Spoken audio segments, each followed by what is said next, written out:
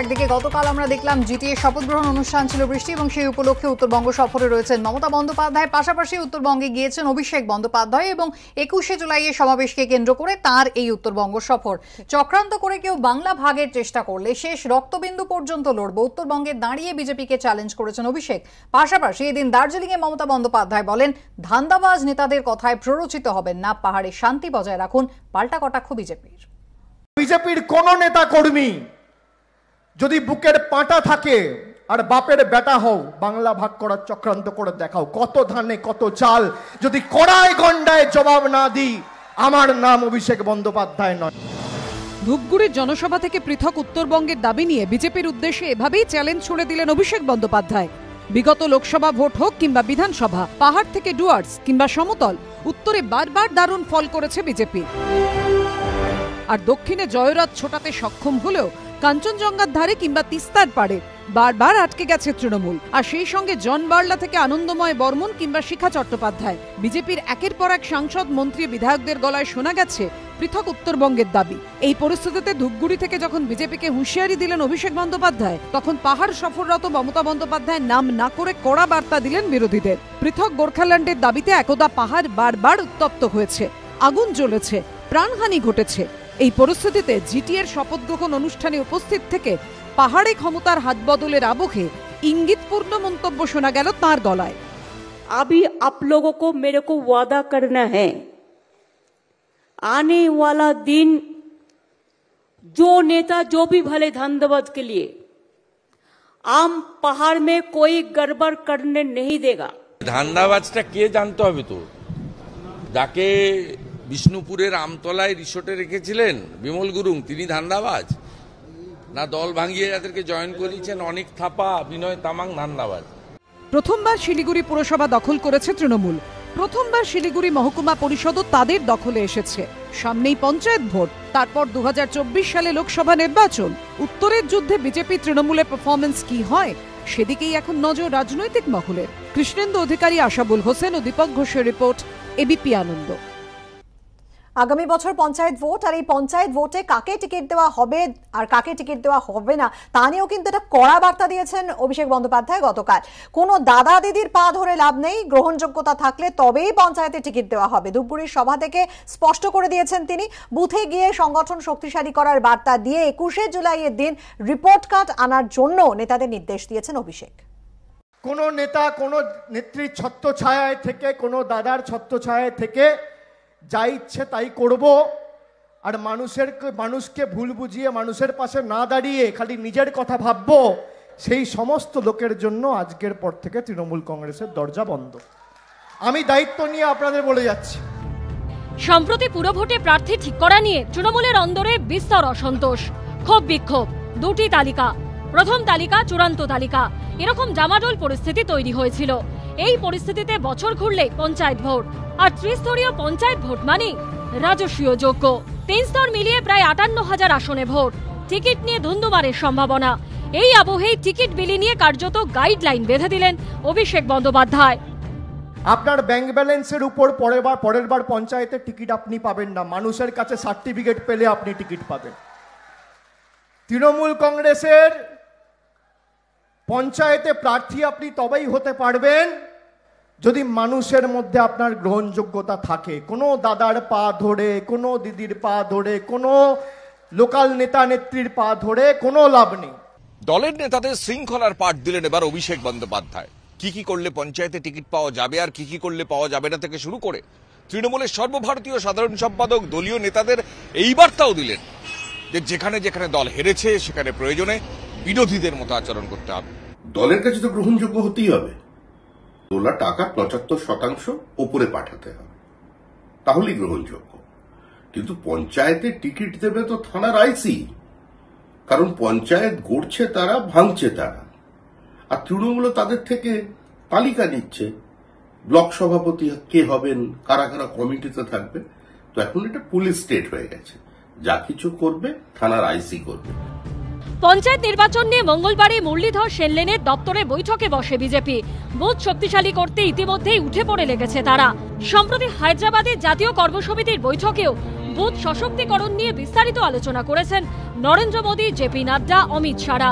এই আবহে পঞ্চায়েত ভোটের আগে দলীয় নেতা কর্মীদের বুথে বুথে গোড়া স্পষ্ট বার্তা দিলেন অভিষেক বন্দ্যোপাধ্যায়ও। যেখানে আমাদের ফল খারাপ হয়েছে প্রত্যেকটা বুথে আমাদের এখন থেকে ঢুকতে হবে। এখানে যারা বসে আছে মঞ্চে, আমি সকলকে অনুরোধ করব যে আগামী দু মাসের মধ্যে প্রত্যেকটা বুথে আমাদের কর্মসূচি নিতে হবে। এই মঞ্চে যারা বসে আছেন, সাত দিন পর আপনারা কলকাতায় যাবেন। একুশে জুলাই ঐতিহাসিক সমাবেশে যোগদান করতে।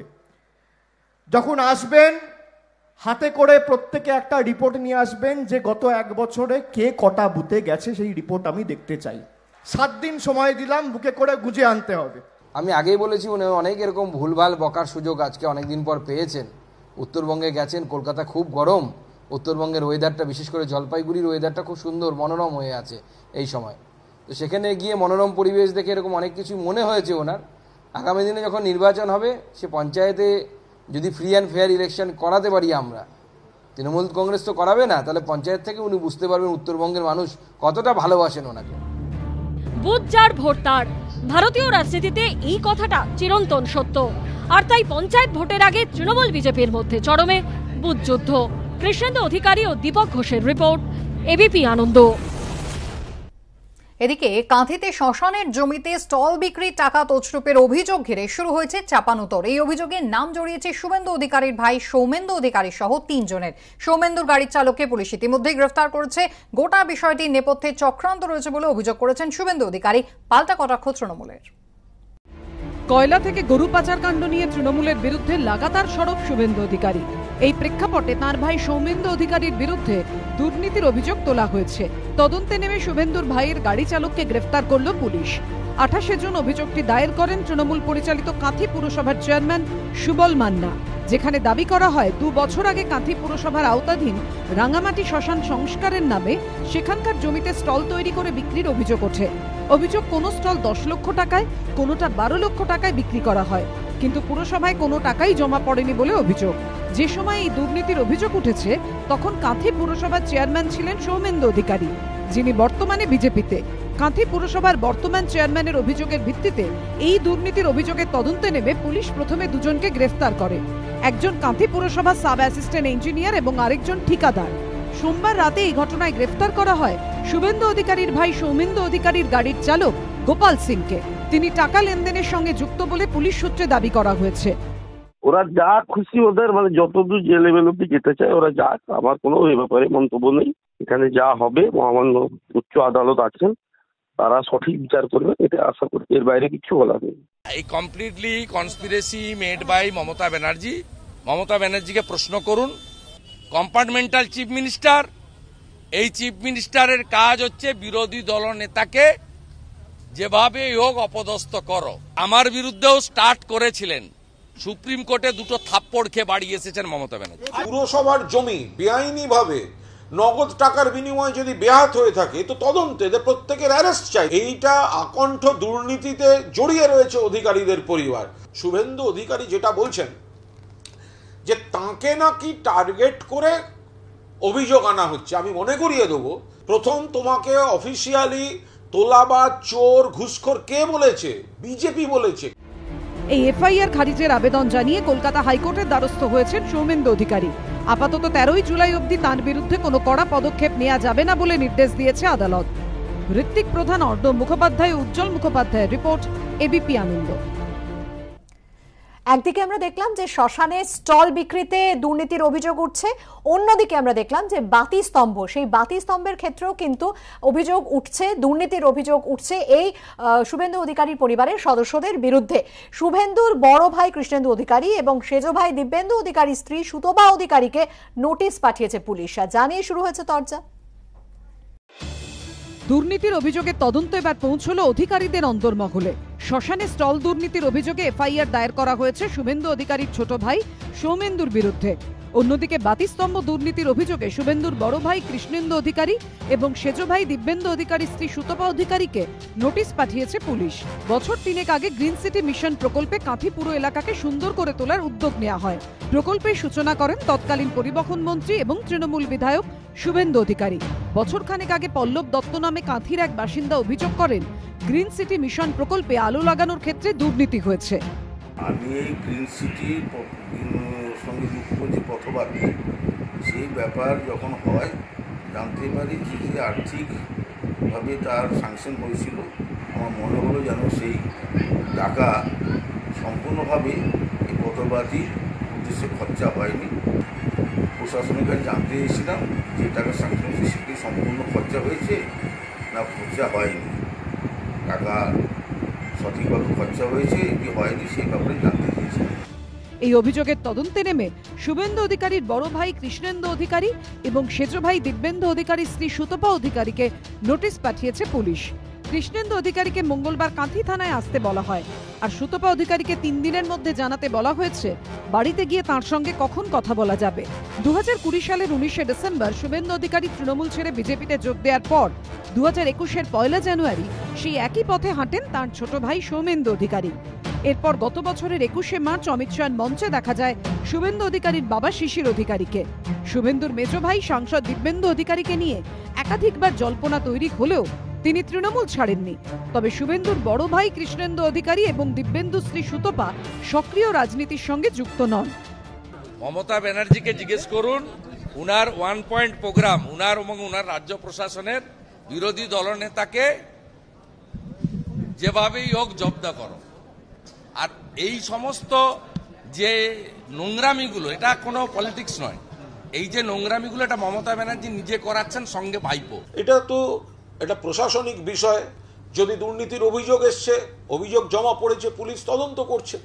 তো একজন যদি স্বজন পোষণ হয়, কোথাও দুর্নীতির অভিযোগ আসে, বেনিয়ম হয়ে থাকে, সরকারি টাকা দুর্নীতিতে খরচ মানে খরচ হয়ে থাকে, আত্মসাতের অভিযোগ থাকে, তো অভিযোগ এলে তদন্ত হবে। তাহলে অভিযুক্তদের উচিত তদন্তে সহযোগিতা করা। সব মিলিয়ে পুলিশি তদন্ত অধিকারীদের অন্দরমহলে পৌঁছে যাওয়া নিয়ে রাজনৈতিক দরজার পারদ সপ্তমে।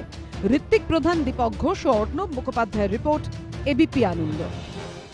বিজয় মাল্য, মেহুল চোকসি, নীরব মোদীর পর এবার কয়লা পাচার কাণ্ডে ফেরার অভিযুক্ত। বিনয় মিশ্রকে অর্থনৈতিক অপরাধী ঘোষণা করতে চলেছে এনফোর্সমেন্ট ডিরেক্টরেট এর জন্য অনুমতি চেয়ে দিল্লির পটিয়ালা কোর্টে আবেদনও করেছে ইডি এই নিয়ে কথা বলব। আমাদের সঙ্গে টেলিফোন লাইনে রয়েছেন আমাদের প্রতিনিধি প্রকাশ সিনহা প্রকাশ। ইডির তরফ থেকে কি পদক্ষেপ করা হচ্ছে?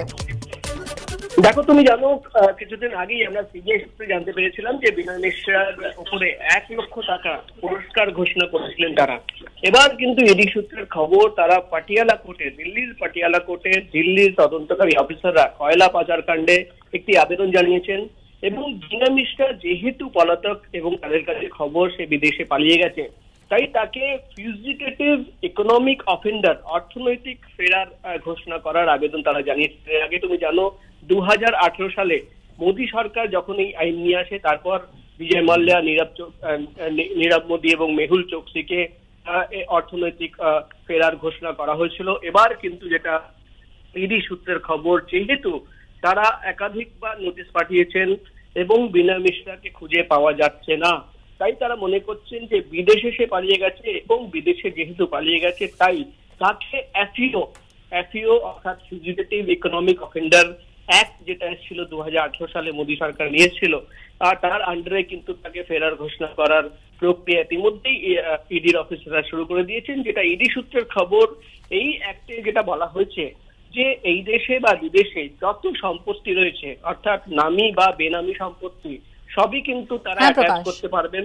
এবং বিনয় মিশ্রার সঙ্গে যারা অ্যাসোসিয়েট রয়েছেন বা তার বেনামে যে কোম্পানি চলছে তার সমস্ত সম্পত্তি অ্যাটাচ করতে পারবেন। সব মিলিয়ে কিন্তু যেটা আমরা দেখেছি দু সালে এই আইন হওয়ার পর আটজনকে এই আইনে অর্থনৈতিক ফেরার ঘোষণা করা হয়েছিল। আমাদের রাজ্য থেকে প্রথম যেটা ইডি সূত্রের খবর বিনয় মিশ্রকে ফিজিটেটিভ ইকোনমিক অফেন্ডার ঘোষণা করার প্রক্রিয়া ইতিমধ্যেই শুরু করে দিয়েছেন ইডির আধিকারিকরা। তারা যেটা জানাচ্ছেন, যেহেতু তারা তদন্ত করতে করতে গিয়ে জানতে পেরেছেন যে কয়েকশো কোটি টাকা প্রতারণা করে বিনয় মিশ্রা দেশ ছেড়ে পালিয়েছে, তাই কিন্তু এই আইনে বলা হয়েছে যে একশো কোটি বা একশো কোটি টাকার বেশি প্রতারণা করে যারা যারা বিদেশে পালিয়ে যায় এবং যাদের ফিরে আসার কোনো সম্ভাবনা নেই তাদের বিরুদ্ধে কিন্তু এই আইন কার্যকর করার সম্ভাবনা রয়েছে এবং সেই আইন মেনেই কিন্তু এই সূত্রের খবর একেবারে প্রকাশ ধন্যবাদ। দিল্লির পটিয়ালা কোর্টে আবেদন জানিয়েছেন।